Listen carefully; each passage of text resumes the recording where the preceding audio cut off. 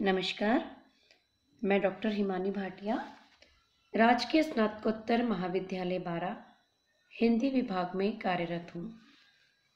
आज मैं आपको बीए प्रथम वर्ष के द्वितीय प्रश्न पत्र में, जो कि हमारी बुक है चित्रलेखा, जिसके लेखक हैं भगवती चरण वर्मा। उनकी कुछ महत्वपूर्ण व्याख्याएँ हैं, उनके बारे में बताऊँगी। सबसे पहली व्याख्या है उनकी कि उसका दावा है कि उसने संसार की समस्त वासनाओं पर विजय पाली है। संसार से उसको विरक्ति है और अपने मतानुसार उसने सुख को भी जान लिया है। उसमें तेज है और प्रताप है। उसमें शारीरिक बल है और आत्मिक बल है। जैसा कि लोगों का कहना है कि उसने ममत्व को वशीभूत कर लिया है। कुमारगिरी, युवा हैं, पर यौवन और विराग ने मिलकर उसमें एक अलौकिक शक्ति उत्पन्न कर दी है। संसार उसका साधन है। और स्वर्ग उसका लक्ष्य।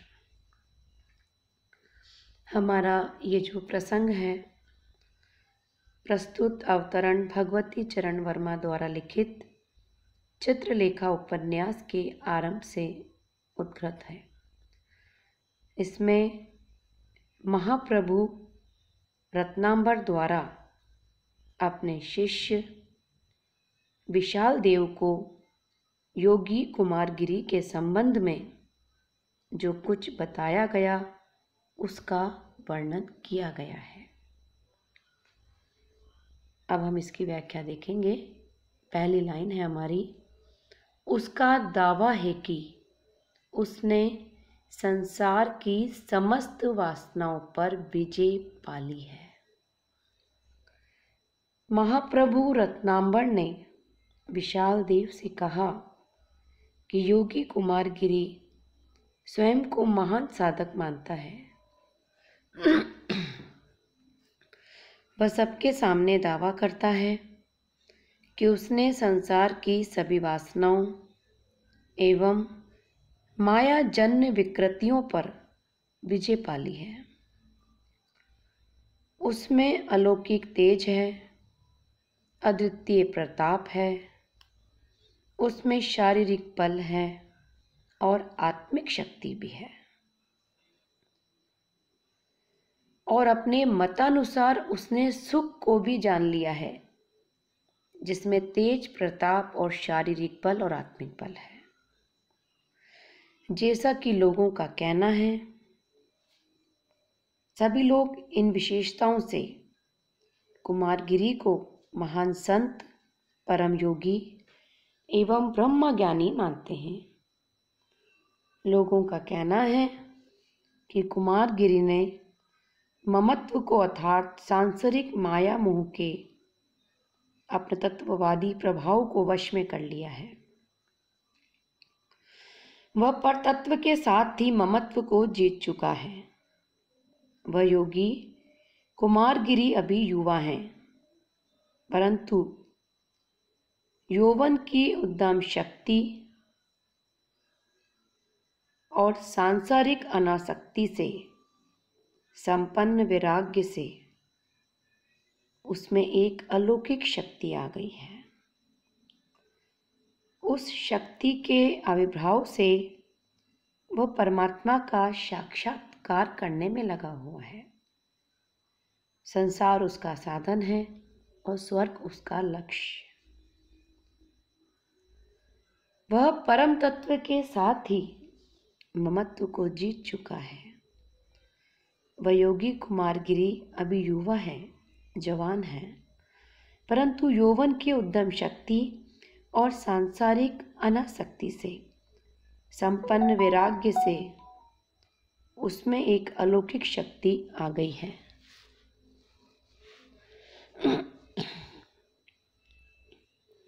उसमें एक अलौकिक शक्ति आ गई है।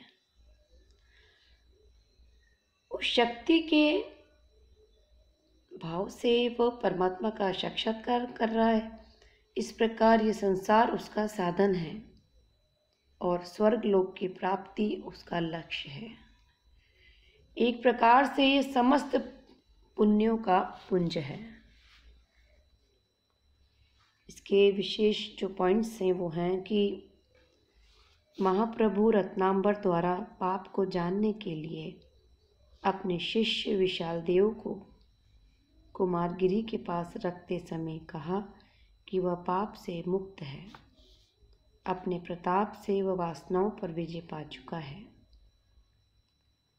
इस कथन से कुमारगिरी के चरित्र का प्रकाशन होता है। इस व्याख्या की जो भाषा है वो तत्सम प्रधान सरल है। शैली विवरणात्मक है। इसके बाद हम नेक्स्ट व्याख्या देखेंगे। उसकी विशाल अट्टालिकाओं में भोग विलास नाचा करते हैं। रत्न जटित मदिरा के पात्रों में ही उसके जीवन का सारा सुख है। वैभव और उल्लास की तरंगों में ये केली करता है। ईश्वर की उसके पास कमी नहीं है। उसमें सौंदर्य है और उसके हृदय में संसार की समस्त वासनाओं का निवास है। उसके द्वार पर मातंग झूमा करते हैं। उसके भवन में सौंदर्य के मद से मतवाली नर्तकियों का नृत्य हुआ करता है। ईश्वर पर उसे विश्वास नहीं शायद उसने कभी ईश्वर के विषय में सोचा तक नहीं है। और स्वर्ग तथा नरक की उसे कोई चिंता नहीं। आमोद और प्रमोद ही उसके जीवन का साधन है तथा लक्ष्य भी है।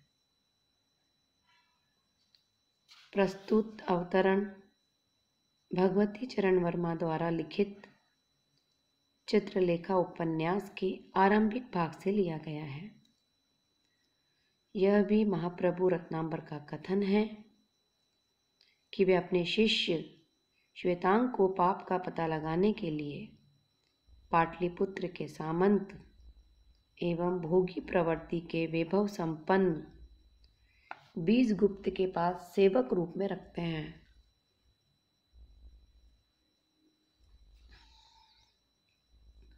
उसी अवसर पर वे श्वेतांक को बीजगुप्त के संबंध में बताते हैं। व्याख्या। उसकी विशाल अट्टालिकाओं में भोग विलास नाचा करते हैं। वो कह रहे हैं कि महाप्रभु रत्नांबर ने श्वेतांक से कहा कि सामंत बीजगुप्त परम भोगी हैं, यह क्षत्रिय सामंत हैं। तथा इसके पास वैभव विलास के लिए पर्याप्त धन संपत्ति है। रत्न जटित मदिरा के पात्रों में ही उसके जीवन का सारा सुख है। उसके पास वैभव विलास के लिए पर्याप्त धन संपत्ति है।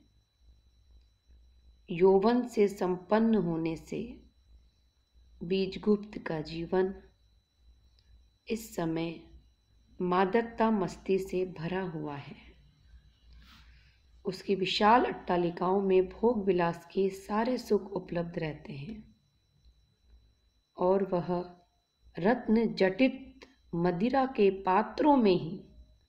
कहने का तात्पर्य यह है कि रत्नों से जड़े हुए पात्रों में जीवन का सारा सुख है। अर्थात रत्नों से जड़े हुए पात्रों में शराब भर भर कर वो पीता है, जिसमें उसको आनंद की अनुभूति होती है। तथा उसे ही जीवन का वह परम सुख मानता है। वैभव और उल्लास की तरंगों में वह केली करता है। वह वैभव और विलास की मस्ती में खूब यौवन क्रिया करता है। ईश्वर की उसके पास कोई कमी नहीं है। बीजगुप्त युवा है, उसका शरीर सुंदर है। सौंदर्य और यौवन के साथ ही धन वैभव से संपन्न होने से वह संसार की समस्त वासनाओं में आसक्ति रखता है। उसके दरवाजे पर हाथी झूमते हैं। उसके भवन में सौंदर्य के मद से मतवाली नर्तकियों का नृत्य हुआ करता है। कहने का मतलब यह है कि उसके भवन में सौंदर्य के नशे से मतवाली सुंदरियाँ, नर्तकियाँ नृत्य करती हैं। वह भोगवाद पर पूरा विश्वास करता है। शायद उसने कभी ईश्वर के विषय में सोचा तक नहीं है। और स्वर्ग तथा नरक की उसे कोई चिंता नहीं है। अर्थात, ईश्वर पर उसे विश्वास नहीं है। संभवत उसने ईश्वर के संबंध में कभी सोचा भी नहीं है। अपने सुख, वैभव एवं भोग विलास में रमे रहने से उसे स्वर्ग और नरक की भी कोई चिंता नहीं है। उसके जीवन में, आमोद, प्रमोद में मस्त रहना ही एक साधन है। और उसका यही लक्ष्य है। और यही साध्य या जीवन का लक्ष्य भी है उसका। इस प्रकार बीजगुप्त परम भोगी क्षत्रिय युवा हैं। संसार में भोगी व्यक्ति के पास क्या क्या साधन होते हैं? किन किन चीज़ों से वे अपनी भोग लिप्सा की पूर्ति करते हैं? इसका सुंदर वर्णन किया गया है। इसमें बीज गुप्त की चारित्रिक विशेषताओं की व्यंजना हुई है। इस उपन्यास की जो भाषा है, इस व्याख्या की जो भाषा है, सरल तत्सम प्रधान एवं भावानुकूल है। शे शैली इसकी विवरण वाली है एवं व्याख्यात्मक है। आज हमने आपको बी ए फ़र्स्ट ईयर की चित्रलेखा उपन्यास को शुरुआत करी है, जिसके लेखक हैं हमारे भगवती चरण वर्मा हम आपको दो दो व्याख्याएँ रोज करवा के और उनसे संबंधित जो प्रश्न हैं, वो भी करवाएँगे। इसका पीडीएफ बच्चों मैंने व्हाट्सएप पे आप लोगों को सेंड कर दिया है। आप सब वो भी देख लें। और फिर भी अगर किसी बच्चे को कोई प्रॉब्लम होती है, कोई समस्या उसके सामने आती है तो वो मुझे फ़ोन करके, मुझे कॉल करके मुझसे कुछ भी पूछ सकता है। तो आज हमने सबसे पहले जो महत्वपूर्ण व्याख्या थी, जिसमें महाप्रभु रत्नाम्बर द्वारा अपने शिष्य को जो उपदेश दिए गए हैं और कुमार योगी के बारे में जो बताया गया है, हमने उसके बारे में आपको बताया है। नेक्स्ट इसके बारे में जो एक प्रश्न है, उसकी जानकारी हम आपको देंगे। धन्यवाद।